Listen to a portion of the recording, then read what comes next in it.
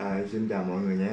Hôm nay mình sẽ chia sẻ tại sao cái bình nước nóng gián tiếp thì cần phải có cái van trộn nước nóng và nước lạnh như như thế này. Nó không ờ, nó không giống như cái loại trực tiếp là mình xả nước ra là nóng liền mà cái này nó làm nóng ở trong một cái bồn chứa. Thì cái bồn chứa đó có thể giữ nhiệt được uh, khoảng ờ, 12 tiếng hoặc hơn đó à, mình đã thử à, mình đã thử à, đun nóng rồi xong rồi mình mình tắt điện đi. Rồi mình tới sáng à, mình xả ra thì mình thấy nước vẫn còn nóng ở trong bình luôn. Có nghĩa là nước được giữ nóng ở trong bình này. Rồi vì bây giờ tại sao mà mình phải cần cái vòi trộn? Vì á nếu như mà mình không không không dùng vòi trộn cũng được. Mình có thể sử dụng nước trực tiếp luôn ha. Nhưng mà khi mà sử dụng nước trực tiếp á à, không phải là do là nó quá nóng mọi người không sử dụng nước trực tiếp được mà là khi á mọi người sử dụng nước trực tiếp à, vừa xài vừa bơm nước á là sử dụng trực tiếp từ cái vòi nước nóng ra vòi sen luôn á. Thì thời lúc đầu á thì nó nó sẽ có nước nóng đó nhưng mà khi mà nó nước nóng bơm ra rồi nước lạnh bơm vô thì cái lượng nước ở trong cái bình đó nó sẽ không còn nóng nữa. Nếu như còn nếu như mọi người bật cái uh, chỉnh nhiệt độ cao chỉnh nhiệt độ cao khi mà mình xả nước ra cái những cái nước đầu tiên đó, thì nó sẽ quá nóng nó sẽ làm mình bị phỏng. Vì vậy á, nên cái lượng nước ở trong và cái lượng nước uh, mình mình lượng nước lạnh nạp vô và xả ra, thì thì nước lạnh nạp vô trong cái bồn đó thì đương nhiên là nó sẽ làm giảm nhiệt độ của cái lượng nước nóng ở trong đó rồi. Bởi vậy nên đó khi mình xài mình xài, mình cần trộn nước là là như vậy. Mình chỉnh nhiệt độ cao lên, rồi nước trong bình nó, ví dụ như bốn bốn chục độ hay năm chục độ gì đó, thì khi mà mọi người xả ra cái lượng nước nóng từ ở ở cái bình nước nóng đi ra. Ví dụ như uh, xài trực tiếp á thì trăm phần trăm.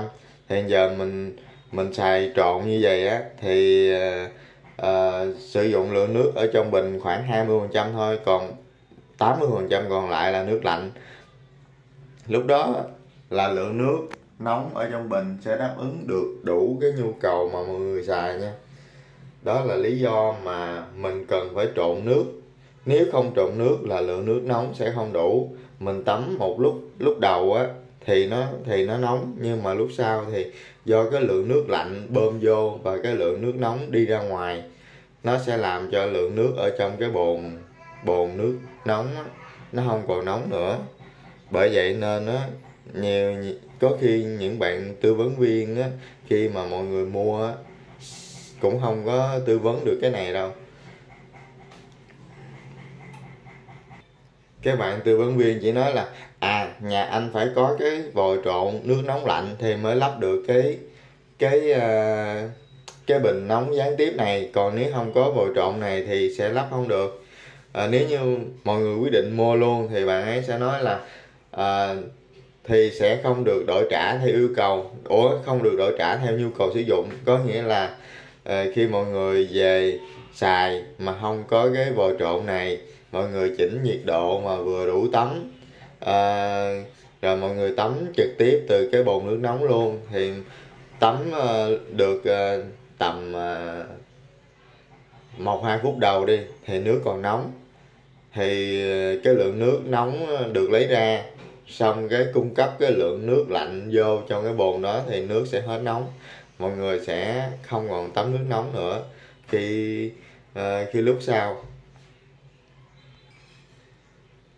Bởi vậy á khi mà mọi người xài xài cái bình ờ, gián tiếp mà không có bồi trộn thì họ sẽ thì bên bán hàng họ sẽ không có cho đổi trả theo nhu cầu sử dụng nha. Do là bắt buộc là phải có vòi trộn nước nóng và nước lạnh. Rồi lúc đầu á mình nghĩ là à, do cái máy này á nó không có chỉnh được lượng nước uh, minimum là à, lượng nước mà nóng mà vừa đủ nóng. Mình nghĩ là cái cái máy này lượng cái nhiệt độ minimum của nó là tới 40 độ. Nên mình nghĩ là bên tư vấn viên á họ họ họ nói là mình nghĩ là nước nóng quá nên họ tư vấn là cần bồi trộn nước.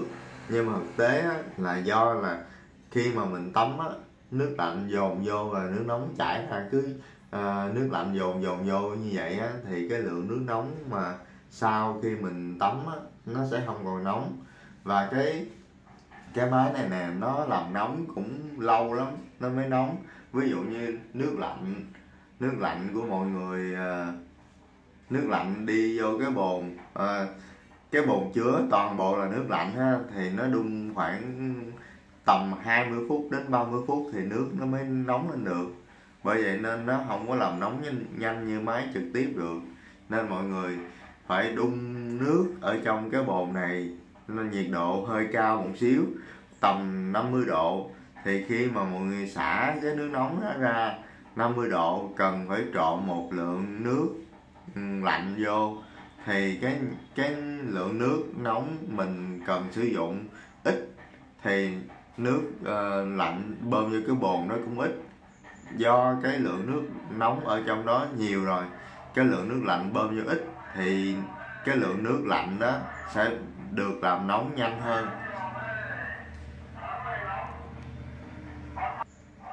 Nên nó, nó sẽ không có xảy ra tình tình tình trạng là à, nước ở trong nước nóng ở trong cái bồn này được dung hòa với nước lạnh nên thành thành một cái bồn nước lạnh tại vì nó nó làm nóng lâu á nên nó nên lượng nước nếu như mọi người xả cái lượng nước nóng ra nhiều thì nước lạnh bơm vô nhiều thì thì cái lượng nước nóng ở trong bồ trong bình nó sẽ bị dung hòa thì nó nó sẽ không còn nóng. Vì vậy nên mình phải chỉnh nước nóng hơi cao xíu tầm trên 50 độ. Tầm trên tầm khoảng hơn 50 độ đi xong mình xả ra mình xài xong mình trộn một cái lượng nước nước lạnh vô xíu thì mình sẽ ờ, đủ nhu cầu sử dụng. Và và điều đặc biệt á, là khi mọi người xài cái bình này nè, không có cần phải ờ, bật cái ờ, không có cần phải bật cái cái cb liên tục. Ví dụ như mọi người đun, cảm thấy đun cho cái nước ở trong bồn này nó sôi rồi, nó nóng rồi, thì có thể tắt cb cũng được rồi ờ, mình xả nước ra mình xài. Mình xả nước ra mình xài. À, mình xài xong rồi à, khi nào mà mình cần sử dụng lại cái bình nước nóng á thì mình sẽ bật trước cái cái cầu dao trước khoảng một tiếng để cho cái bột này nó làm nóng. Rồi sau đó mọi người lúc tắm á tắt đi cũng tắt cái cb đi cũng được nó không có nhất thiết là phải bật uh, cái cb liên tục như là cái bình trực tiếp nha. Nếu như mọi người sợ ai mà sợ mà bị uh, rò rỉ điện á thì có thể sử dụng theo cách đó là bật lên bật lên trước đó xong rồi tới lúc nào mà tắm á thì mình tắt đi. Tại vì cái bồn cái bình này nó chứa được nước nóng tới 12 tiếng lần hoặc hoặc là hơn 12 tiếng thì nó mới hết nóng khi mà ừ, trước khi tắm mình mình bật lên xong rồi mình lúc mình tắm mình tắt đi thì cái hơi nước hơi nóng ở trong đó nó vẫn còn nó không có bị lạnh đâu mọi người à, yên tâm không có sợ ha. Rồi đó là cái ờ, chia sẻ của mình về để à, sử dụng cái cái bình nước nóng gián tiếp à, một cách hiệu quả nhất nha. Thì cái đó là cái ý kiến của mình thôi còn ai mà à, giỏi hơn hay hơn thì có ý kiến khác.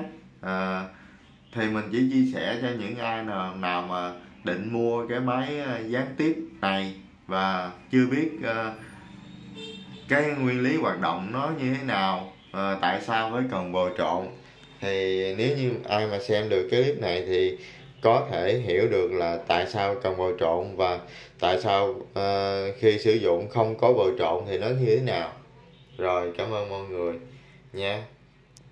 Nếu mọi người có thắc mắc gì thêm á, thì hãy à, để à, câu, đặt câu hỏi ở phía dưới phần bình luận nha.